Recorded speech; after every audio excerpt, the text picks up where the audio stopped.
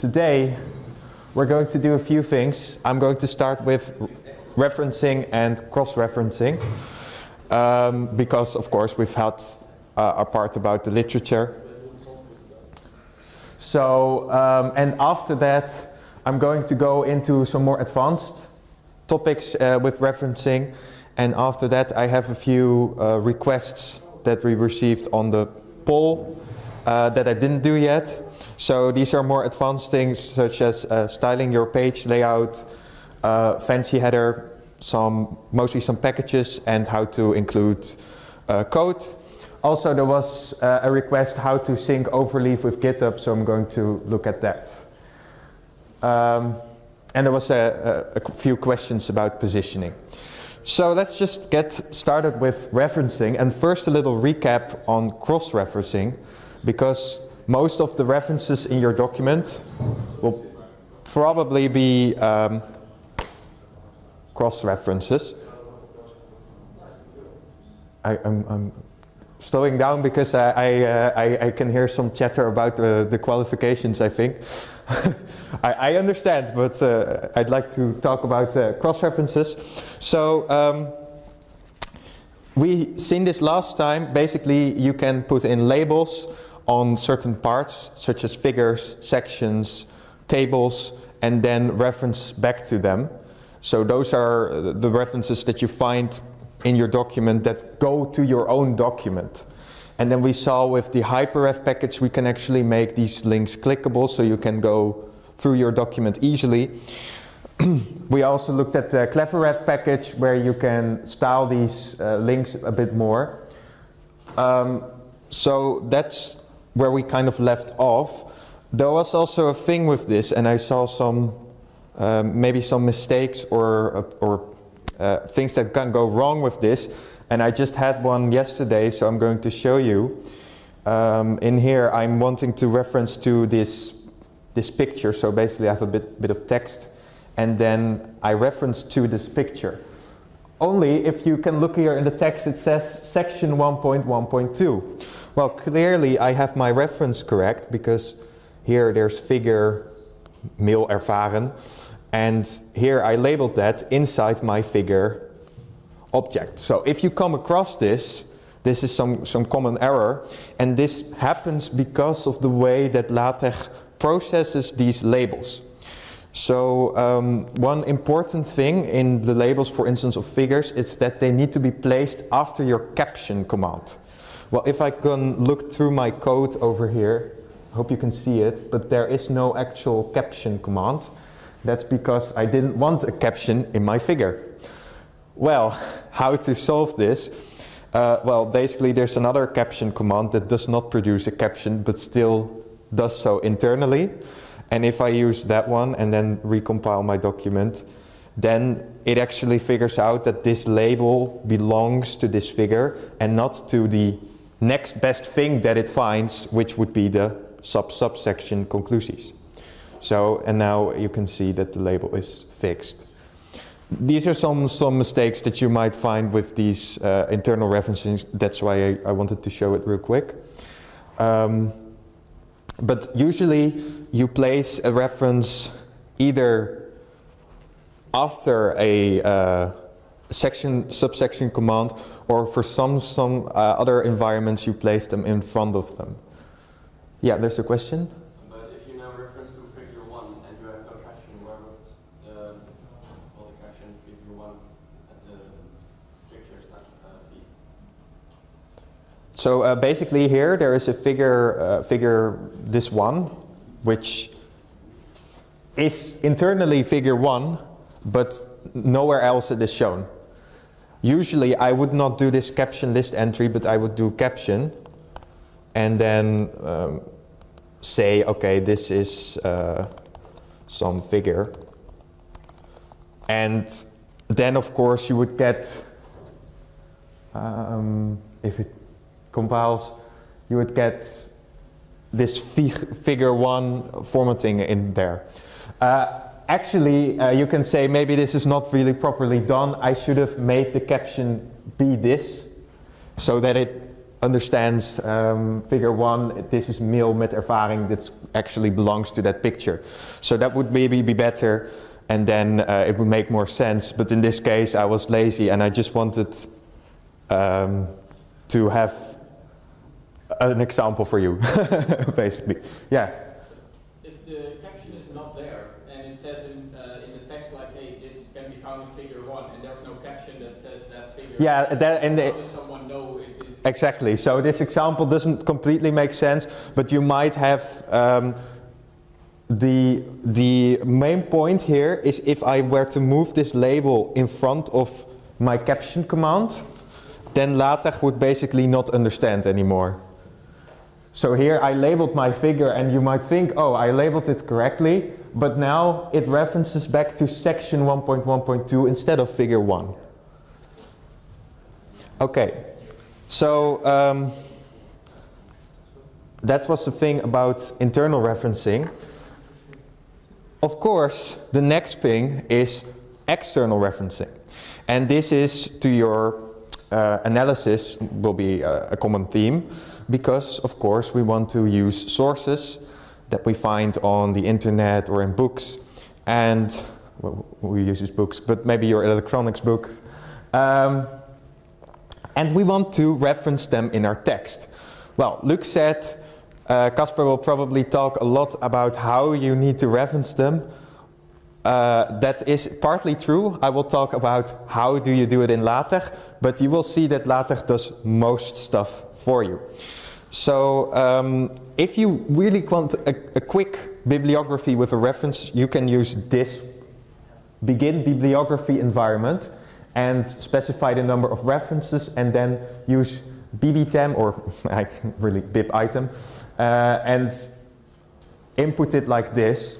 However, I, I, I don't recommend this. I recommend you pretty much immediately switch to a separate bibliography file because it will make things very much easier later on. And for more and complex references, we can use the bibtex package. Um, so the bibtex package will um, allow you to use bib files. Now, this is an example of a bib file, and in here, basically, uh, an article is defined with information belonging to this reference. There's a question right now? What's the difference between bibtex and zip Yeah, I'll, I'll, I, can, I can address this in, in, in uh, just a minute. I will get to that.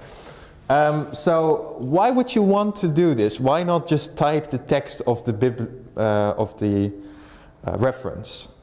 Maybe, maybe somebody has an idea. Why wouldn't we just immediately type the correct way that we need to reference? Yeah? So we can apply a different style easily? Yes, exactly. Again, LaTeX allows this separation of content and styling. And here we can have a certain entry of, uh, of a reference and later on, we can apply different styles and we can just share our bib file with somebody else or one of those entries with somebody else.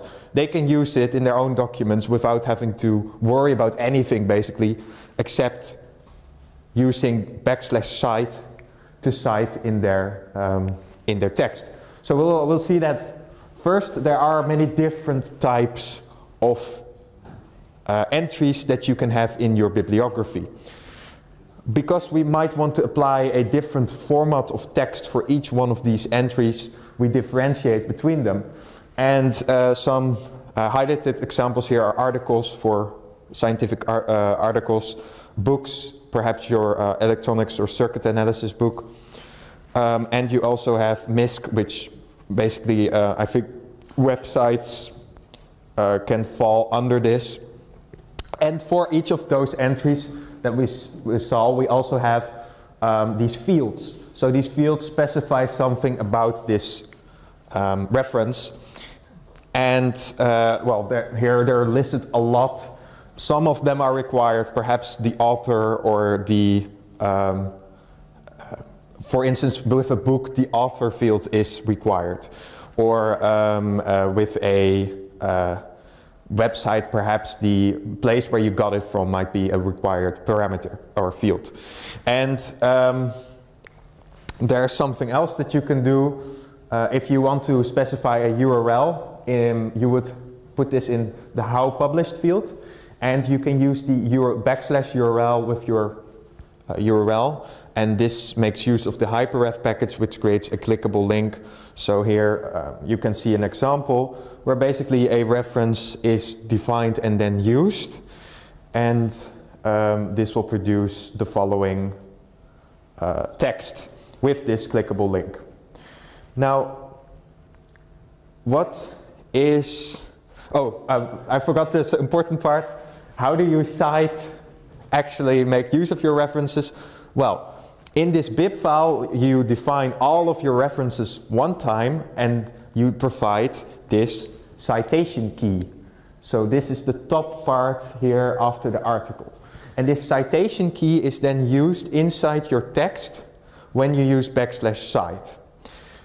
Now, depending on how you do your formatting, LaTeX will do the rest for you. So there's two things you need to do. Create your bibtexts entry for the reference you want to use.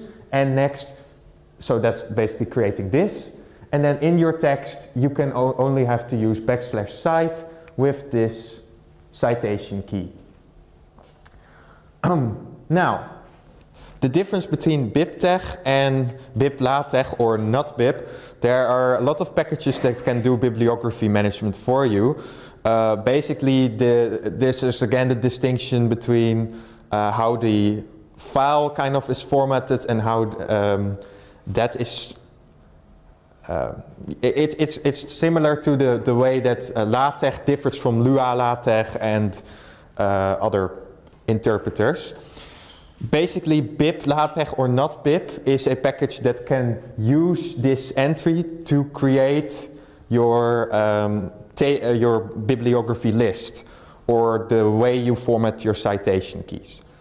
So the, uh, even though the entries might be the same in bibtex, um, you might have different packages that interpret this in a different way. So I'm going to show you mostly um, uh, the default way, or and I will have an example with not uh, not lib. Um, so we have this text with citations. Now somewhere in our document we want the bibliography list, so we can use one of these commands. Um, and we can specify the style of bibliography. So here's where this later part becomes useful. We have a few different styles. Uh, one of them is the plain style, which is kind of the default styling, and it looks like this. So in your text, you will have, uh, you know, basically you're typing and you use backslash cite to, for instance, Albert Einstein. Um, and it will, be it will produce this here, this uh, key of one. And later on, where you defined your bibliography list, it will look somewhat like this with all the numbers and the references. Now, you can also have an APA-like uh, style, which will produce two different things. First of all, the numbering in the text will be different, but also your bibliography list will be a bit different and look more like the APA style. Of course, we don't care about any of these two. We care about this style, IEEEtran, because uh, like Luke said, you want to do this in a particular way. Well, we want to do it in the electrical engineering way, so we use the um, basically the default way that every electrical engineering article uses their reference listing. And if we specify this reference style, we will just get that for free and we don't need to worry about it. We just make our bibtex file and use our citation commands. And it will look somewhat like this, so with the nice square braces and no nonsense and just one uh, reference part at the end where the square braces and the numbers are explained. so how do we actually get these entries? There are many different ways. We can just write them ourselves. So we can just start typing uh, this in the format in, the way. But I will show you a few ways how I like to do it because I'm lazy. Um, and one of those is with the program Mendeley. So maybe you already use this for Word reference managing. There, um, they have a sort of uh, library where you can add well documents and um, some information is automatically retrieved from that document. Other information you can add yourself, and then you can have better word referencing. Well, it also works together with uh, creating BibTeX entries, and it also can be used uh, immediately with uh, overlink, overleaf. Um, so here's the example. If you create an account and go to your library page, it will look something, something like this. And now I can add a file, for instance, and maybe I want to add Einstein's general relativity. So I can upload this file and it will add here a reference. Oh, it's an English translation.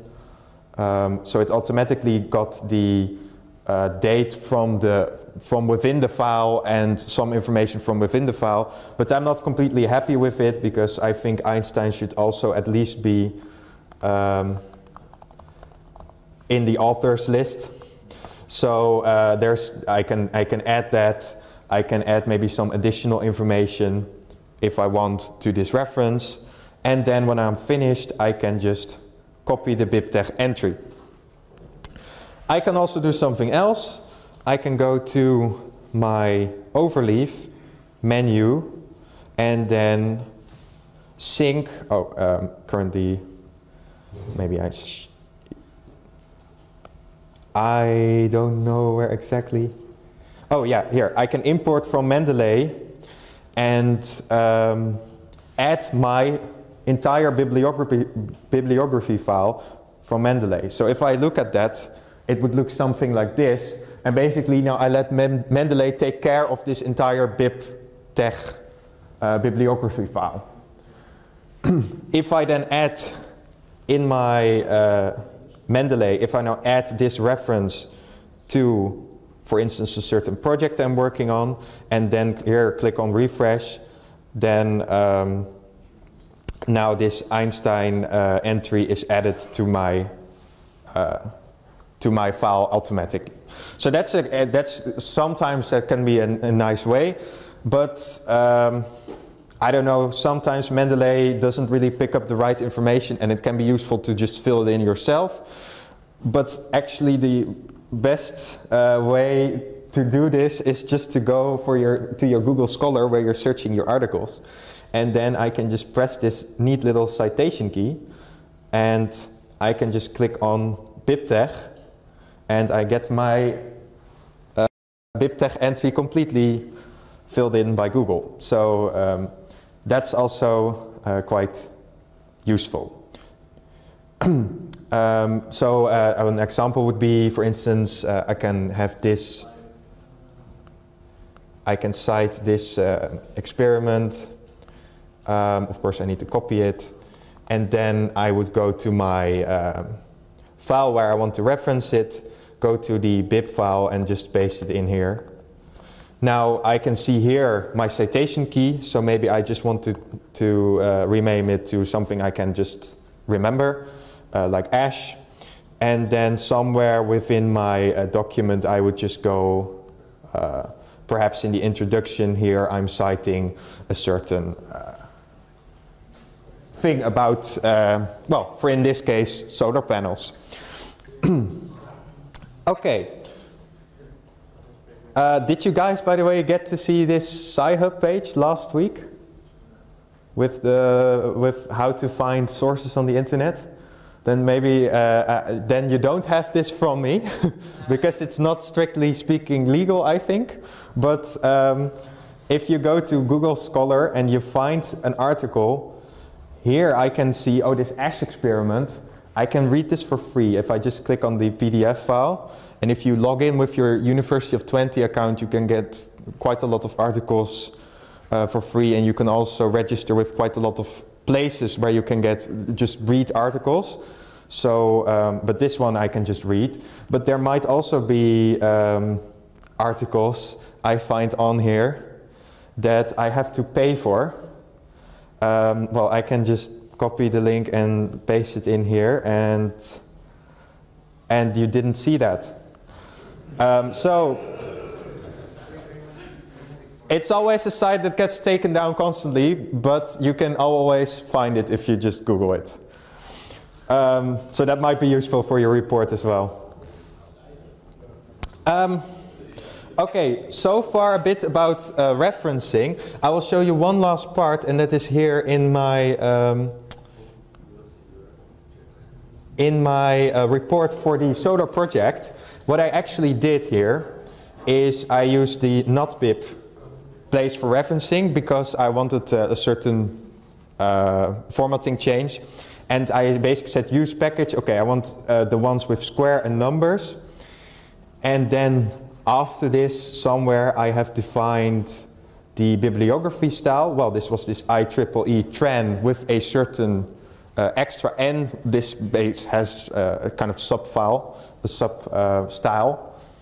And here you can see how that then, um, okay, that's interesting. Well, at the end, this would create a um, bibliography with the correct styling.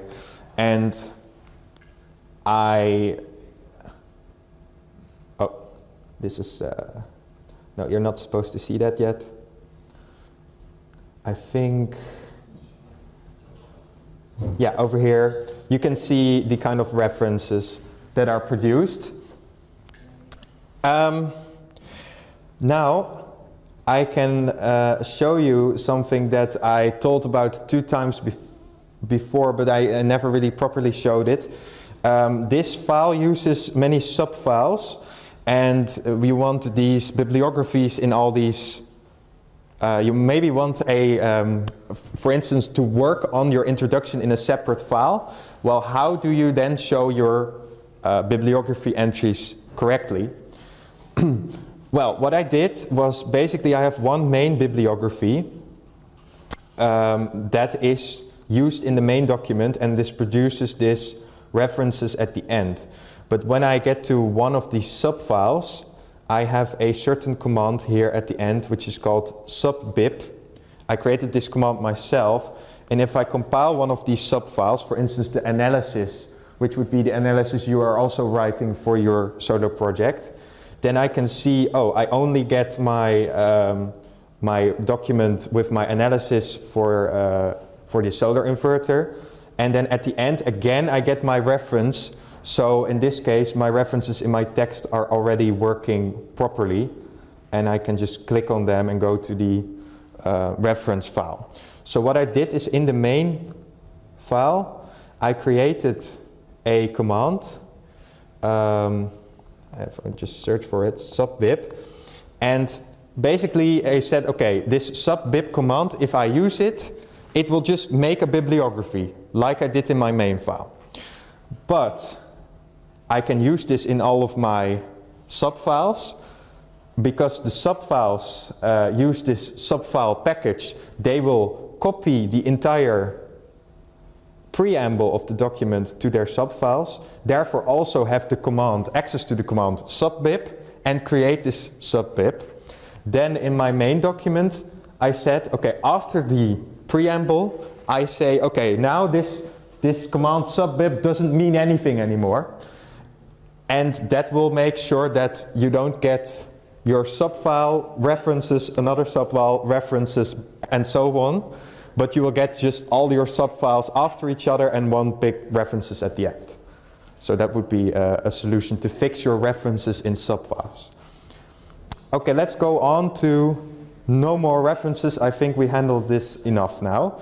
And um, there were some questions about floating in LaTeX. Well, this was the slide that I showed last time and um, it has all kinds of specifier. Well, let's look at what is the common problem that people have with floating.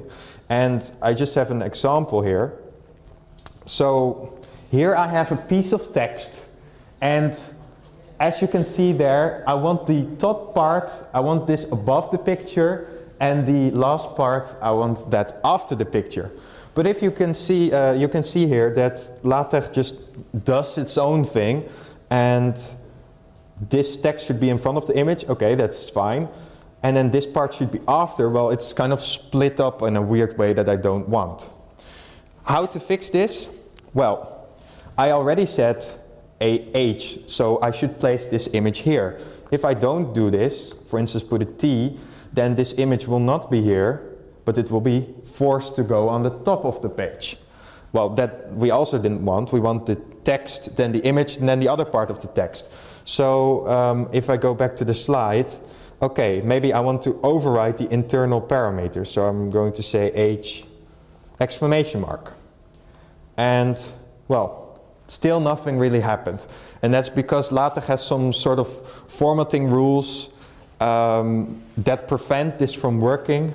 Perhaps if I make really uh, clear that this is a different par paragraph, then it would actually go to the, uh, to the other part. I don't need so many enters, but to show you, okay, this, because LaTeX thinks this is one paragraph of text, it has a certain formatting for this image.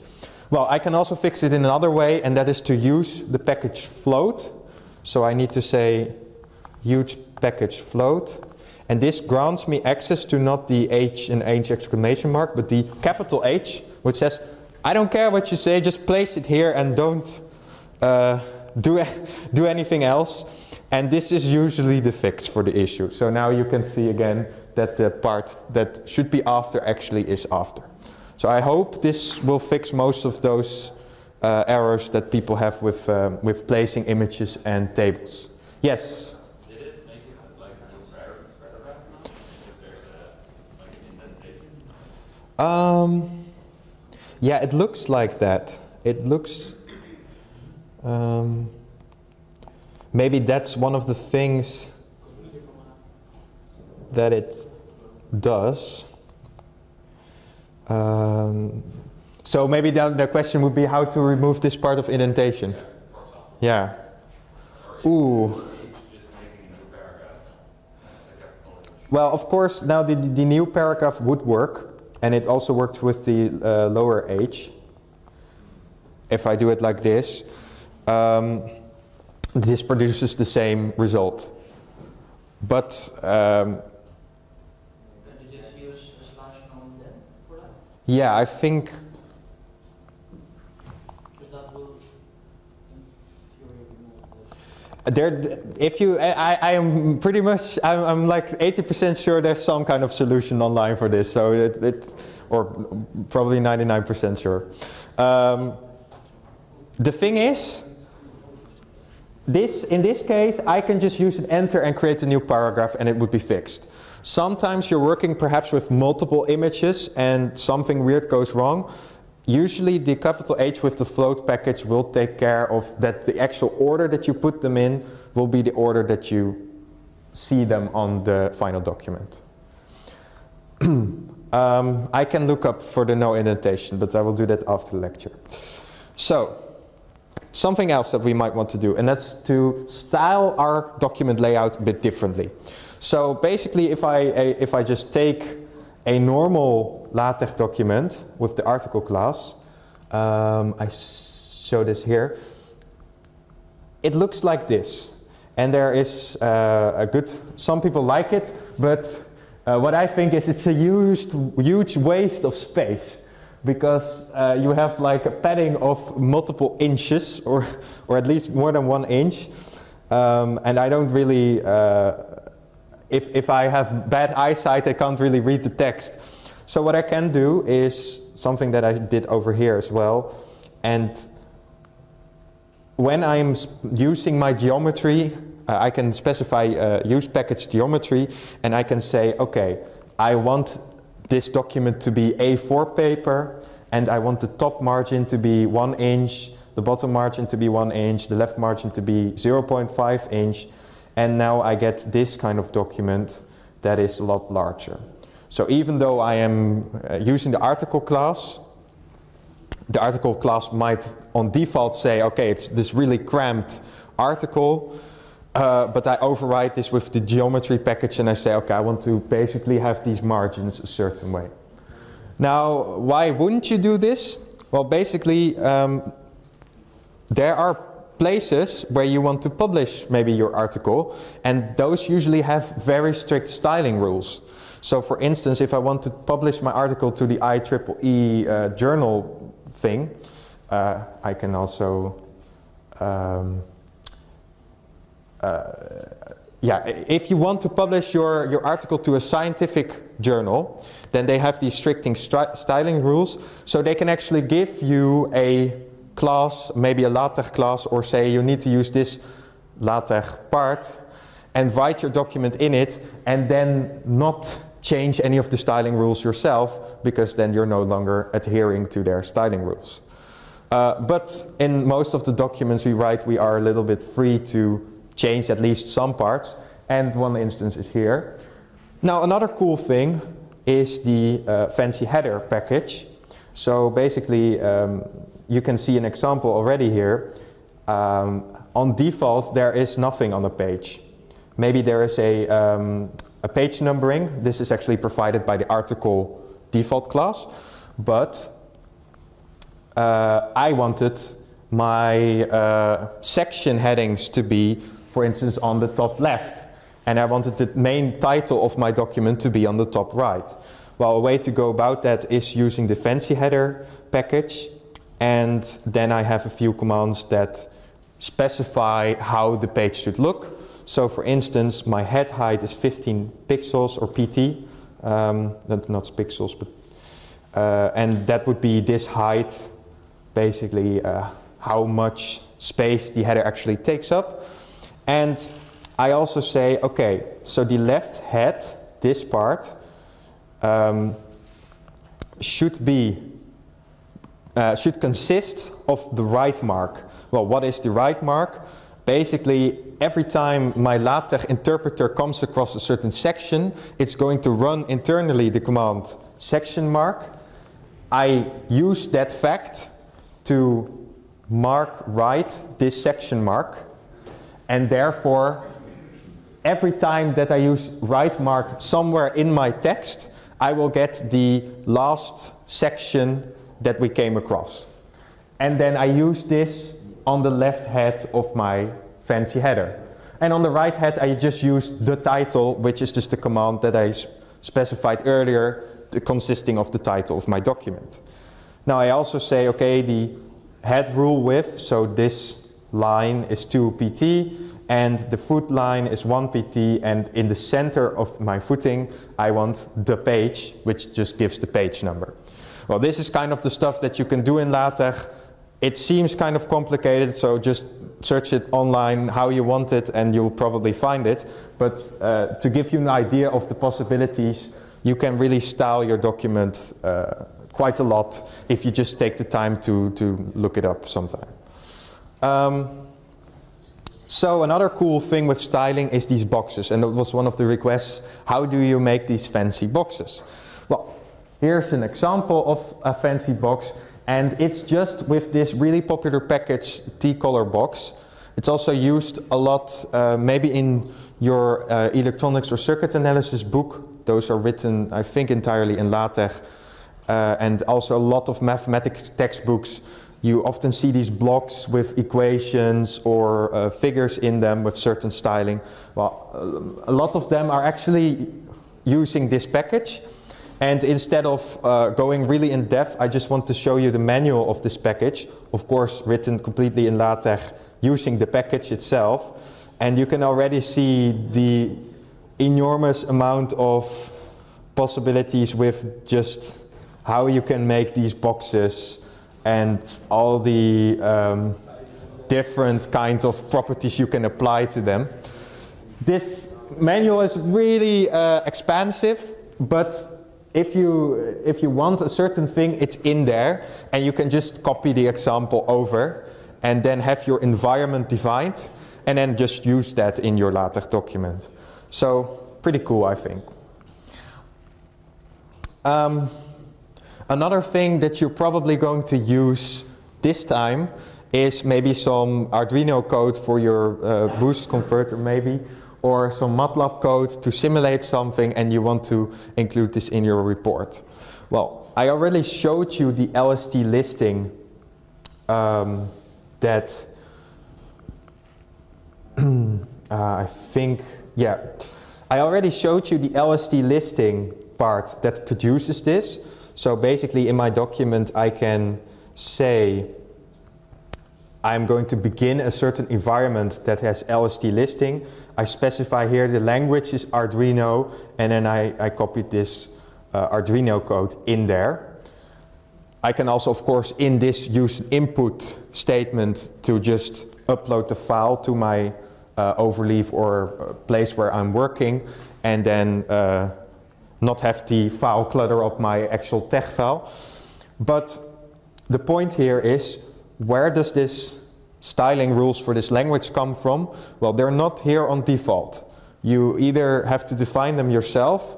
So for instance, for LaTeX, I made my own rules here and these are called, so basically I say, okay, there's some sort of keywords, they have a certain coloring, um, and if you come across them, you would have to apply royal blue coloring or there's another keyword style.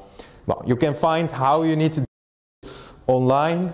You can also just copy a certain styling sheet from somebody else. For instance, here this Arduino language.tex file, which is quite long, but I just copied this from the internet and it gave me all the styling rules to give a pretty nicely formatted Arduino code. The same is true for MATLAB or any other language that, uh, that you want to use uh, and put some code in your document. okay, so uh, another part was something uh, that was requested, an advanced feature, how to sync Overleaf with GitHub. Is it possible? Yes, it's possible from within the program actually. Um, why would you want to do this? Well, perhaps you're working together with somebody who doesn't use Overleaf but is very fond of his own editor on his own computer. Uh, or perhaps um, you want to have a better storage of all the different changes you made to your file. Well, in that case, you can uh, connect them and actually do commits. Um, I will just briefly go over how to do this. It's, it's not that hard. You just go to Overleaf, maybe make a new project, or you can already import it from GitHub. Maybe there's a certain uh, repository that already has TeX files in it. You can just import it in Overleaf. But for now, I'm going to make a, a blank project, um, GitHub test 2. And when I create this uh, project, I can just go to menu and, well, I can click Git. Now I can immediately clone the repository from Overleaf, or I can go to GitHub and it detects that, oh, it's not linked to a repository yet, so I can create it. Oh, this is fine. And I can put it to public if I want to. Create a repository. The first time you do this, of course, it will ask you to log in with GitHub. But now I can see immediately it created this uh, repository with uh, the main file in it. Well, I can now um, make some changes here. And then comes the part where I, I think it's, it's still lacking a bit of features, but to commit them, you go over to here and push the changes. You can type some commit message. And if I just refresh this page, you can see, okay, now the commit is done and it's changed. And of course, it also works the other way around, so I can edit this file here, do some commit, and then I need to load this page again. It will show me that there are changes on GitHub and I can pull them in. Unfortunately, there's no real support for merge conflicts. So if that happens, it will ask you to fix them yourself, which kind of means either you go onto your command prompt, clone the repository on your OPC, fix the merge errors and push it again, or go to GitHub and use the resolve manager in GitHub and then uh, fix your mistakes or fix the merge errors that way. Um, but still, it can be quite nice if you want to either, of course, work together with somebody who doesn't use Overleaf or just store your different versions a bit better. Now there's also uh, inside Overleaf, uh, maybe I already showed this, I don't know, but there is a history Um, so this is also a very useful tool to find out if maybe some of your project group has only typed five lines in the entire report. So uh, yeah, be cautious with that.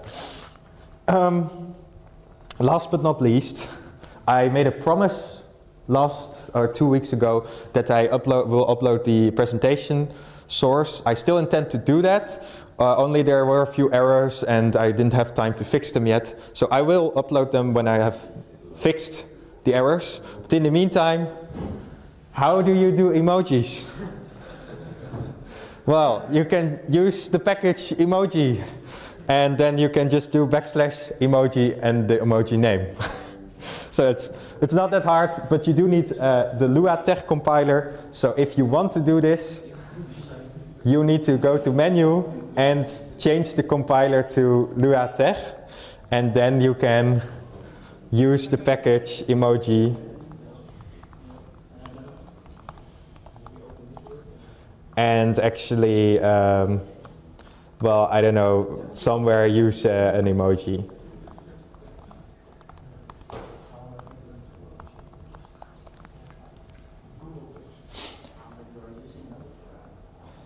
And of course, this is quite a large document, so I'm never going to find it again. But then you get the nice emojis. And uh, I think I'd like to uh, end my, my course on that note. Um, I hope you all have uh, a nice project and get some good grades for your reports because they look really fancy and well because you made them with LaTeX. Are there any more questions or requests?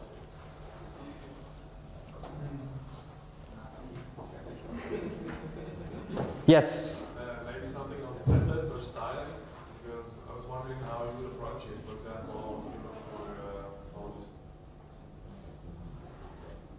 It, would it be a good idea to just do it yourself, or grab something already made? And where would you look for it? Well, okay, so um, uh, the part I said, uh, if you want to publish your article, usually they give you a template. Um, also, I believe some of our modules actually say, hey, here's a template, here's a LaTeX template, you can use this. And then sometimes you're still free to, to choose yourself if you want to do that. If you publish your article uh, you're in a journal, then usually it's not a good idea to completely go overboard, but you can still maybe change a few things. Um, of course, you can make your own templates. So there you can define your own document classes and have uh, these default styling rules, for instance, uh, your margin, your uh, what kind of font is used, um, how how the page numbers are shown, whatever. You can you can make that entirely yourself, and I just yeah you can. I recommend copying it from somebody else, but if you want to, you can of course make it completely your own. What I usually do is use one of the built-in and uh, built-in uh, classes such as article, and then um, change it up a little bit with, for instance, the fancy header and the geometry package. And I can also show you um, uh, a different kind of lab, for instance, the Segway project. I think it was with a different document class. Yeah, so here I use journal instead of article, and you can see that that changes your uh, document layout a lot if it just wants to compile.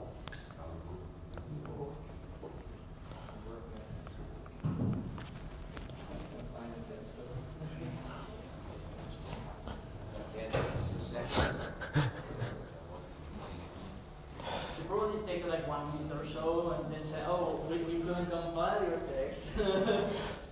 Yeah, maybe. Maybe. Ah, it did. Um, so a journal uh, might look uh, somewhat like this and on default have a two column layout. Um, there's also a, a- a very nice package that's called multicol and um, you can use this to have certain sections with one column, for instance the introduction of your article have one column and then specify two columns. Well, you can still use that in the article uh, document class and then um, well create a wholly different formatted kind of document. I, I, personally like this one a lot because it looks really much like a, a, a scientific paper with the two columns and figures that you can just do one figure in the text and not have huge white spaces around it. Um, but yeah, so you, it's your own decision. Yeah. Well, and uh, yesterday I, I, had a caption above my table. Mm -hmm. The margin was pretty much non-existent, uh, and I was wondering if there's multiple approaches to, to adjust the styling. If, if there's any. Yeah. Something to avoid, maybe not doing.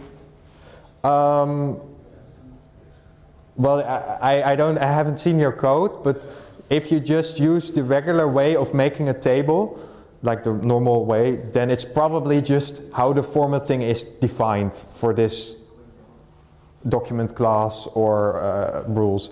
And there probably are multiple fixes. Either you can like bone it in uh, by just using uh, backslash uh, vertical space or um, saying uh, big skip or something. It's big skip creates a, a, a sort of skip uh, so you can try that, but maybe the more correct solution would be to go uh, and search for how do I change the formatting of my tables and then um, have this, probably there's some kind of variable that is the margin of your table and you can use renew command to change that command that produces that gap to be larger. So there's, there's probably a solution like that. Uh, and then everywhere where you do a table, it would be fixed because you change the general styling of, of how the table looks.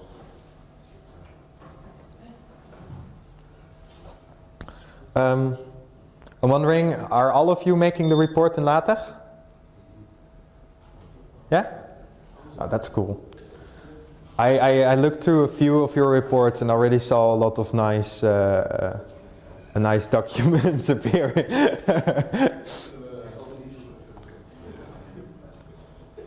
Well, um, then I think I'm, uh, I'm finished and I wish you all a very nice break.